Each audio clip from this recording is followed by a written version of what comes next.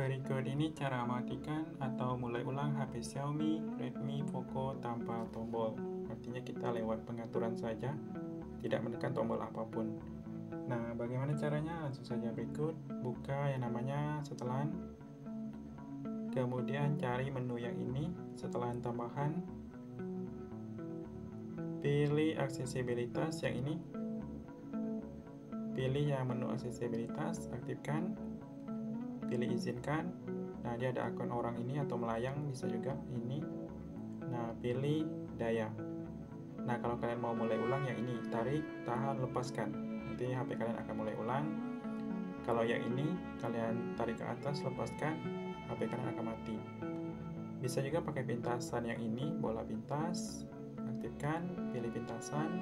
Nah pakai yang ini. Tekan lama tombol daya. Nanti kalian lihat di sini Nah, pilih di sini, kalian matikan saja. Seperti cara pertama tadi. Silakan mau pilih yang menu aksesibilitas atau bola pintas.